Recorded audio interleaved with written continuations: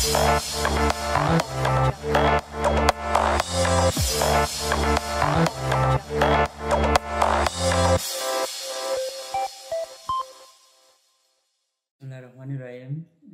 দর্শক, আশা করছি আপনারা সবাই ভালোই আছেন। সো আজকে আমি হাজির হয়েছি আপনাদের সামনে একটি খুবই সুন্দর দেশ সম্পর্কে আলোচনা করব। এটা হচ্ছে Australian tourist visa from Bangladesh.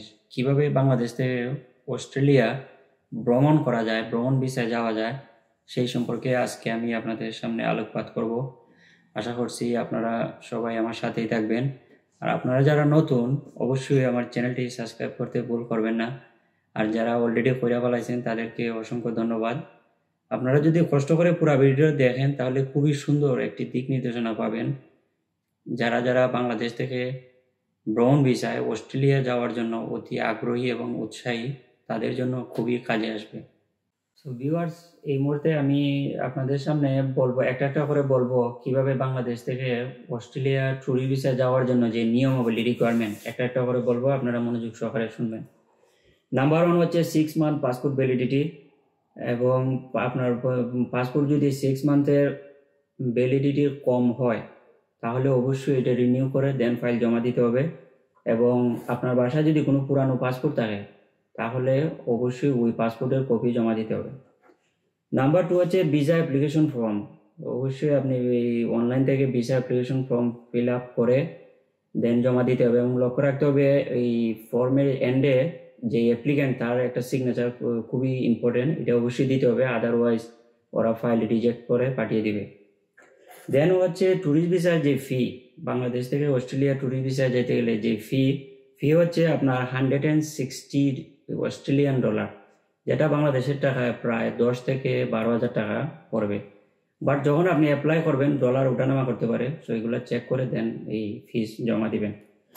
তারপরে হচ্ছে দুই কপি পাসপোর্ট সাইজ ছবি লাগবে এবং ব্যাকগ্রাউন্ড হতে হবে হোয়াইট এবং এই ছবির not older than three month এটা যদি তিন মাসের বেশি পুরানো হয়, তাহলে আপনি আবার নতুন করে ছবি তুলে দেন ফাইল জমা দিবেন।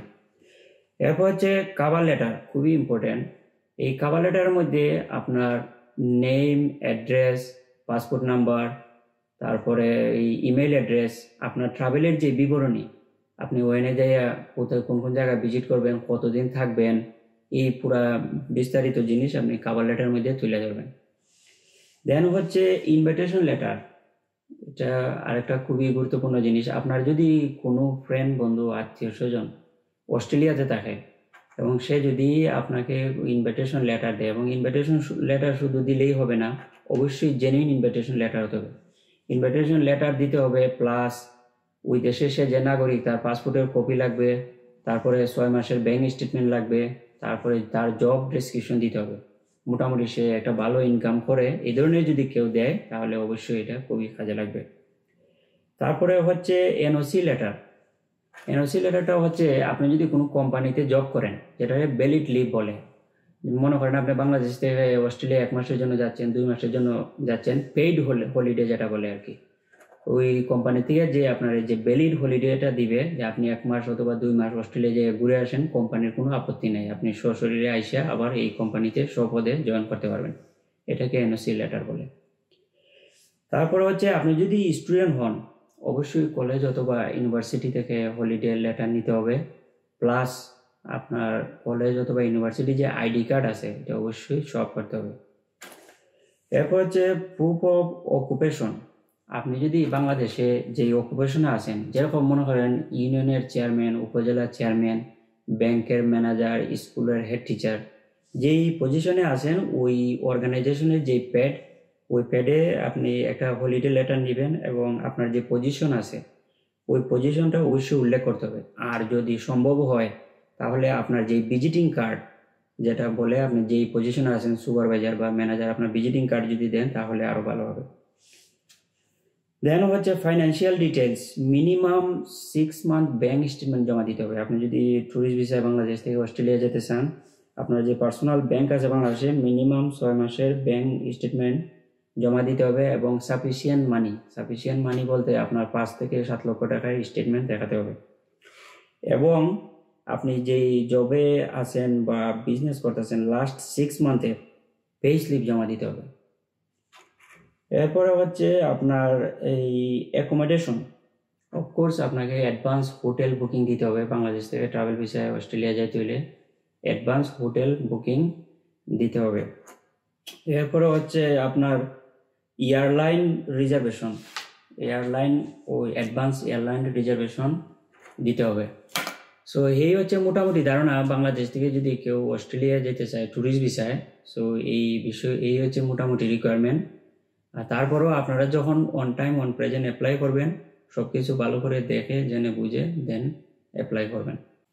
এখন আমি আপনাদেরকে একটি বাস্তবিক ধারণা দেব, কীভাবে আপনি ভিসা পাওয়ার ক্ষেত্রে ইজি অপশন এটা আসলে খুবই একটু কঠিন। নর্মালি অন্যান্য দেশের তুলনায় বাংলাদেশ থেকে, অস্ট্রেলিয়া ট্যুরিস্ট ভিসায় যেতে গেলে আসলে খুবই টাফ তারপর আপনি যদি কিছু টেকনিক অবলম্বন করেন, যেরকম আপনি যদি ভিজিটর নতুন হন, তাহলে আমি সাজেস্ট করব আপনি যদি আগে পাঁচ সাতটা কান্ট্রি ভিজিট করেন।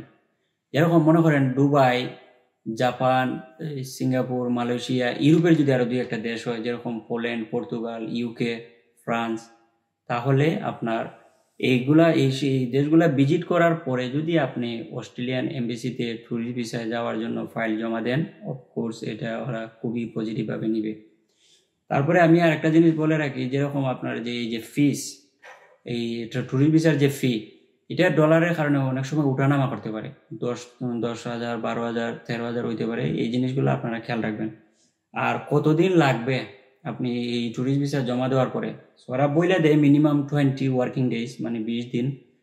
বাট অনেক সময় এক মাসও লাগতে পারে, দেড় মাসও লাগতে পারে।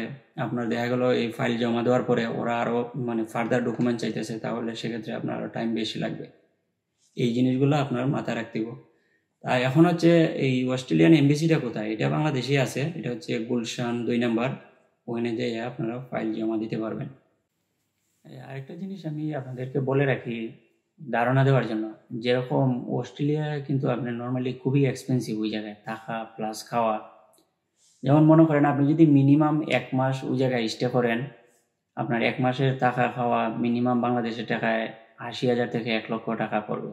সো সেই জন্য আপনার অবশ্যই ফাইন্যান্সিয়াল প্রিপারেশন নিয়ে অস্ট্রেলিয়াতে যাইতে তারপরে অনেকে মনে করে আপনার ওই যে দেশ থেকে টাকা ব্যাগে বইটা নিয়ে যাইতে বিষয়টা আসলে এরকম না। আপনি যদি মনে করেন আপনার যে কার্ড আছে ভিসা কার্ড মাস্টার কার্ড এগুলো আপনি অস্ট্রেলিয়াতে ইউজ করতে পারবেন।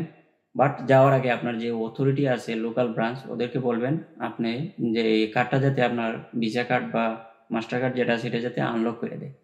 যে আপনি অস্ট্রেলিয়াতে বাংলাদেশের বাইরে যেতেছেন, তো ওরা যদি আনলক করে দেয়, আপনি যে ওই জায়গায় আপনার বাংলাদেশের যে ভিসা কার্ড বা মাস্টার কার্ড ওইটা ইউজ করতে পারবেন। আর অস্ট্রেলিয়া আসলে নর্মালি খুবই সুন্দর দেশ, যেরকম মনে করেন সিডনি মেলবোর্ন অ্যাডেলেড খুবই সুন্দর দেশ।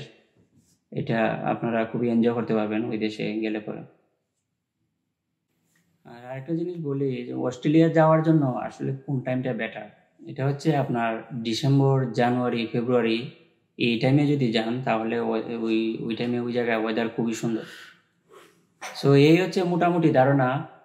সো অবশ্যই আপনারা যদি কষ্ট করে পুরো ভিডিওটা দেখেন তাহলে খুবই সুন্দর একটি ধারণা পাবেন বাংলাদেশ থেকে কীভাবে অস্ট্রেলিয়া ট্যুরিস্ট ভিসা যাওয়া যায়, সেই সম্পর্কে একটি খুবই সুন্দর দিক নির্দেশনা পাবেন। আর আমার জন্য সবাই দোয়া করবেন, আর এস কে বি ব্লগের সাথে থাকবেন। থ্যাংক ইউ দেখা হবে নেক্সট ভিডিওতে